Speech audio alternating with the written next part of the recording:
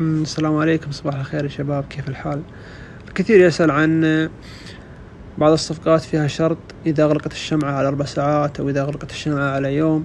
فرضا هنا نختار عندنا أربع ساعات وعندنا يوم. فرضا التوصية على أربع ساعات.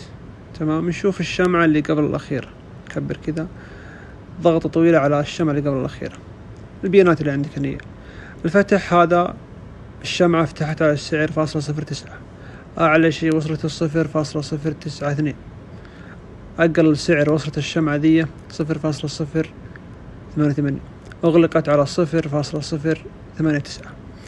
مثلا نفرض أن الشرط كان يقول إذا أغلقت على صفر فاصلة صفر تسعة اثنين ندخل. إذا أغلقت حتى ما ندخل. هذا مش مثلا من شروط التحليل أو من شروط الصفقة اللي نزلوها الشباب. فهنا أغلقت الشمعة على صفر فاصلة صفر تسعة وثمانين فالشرط لاقي يعني ما ندخل الصفقة دي أبدا. وكل الشكر لك يا أخوي مرن. الله يعطيك العافية.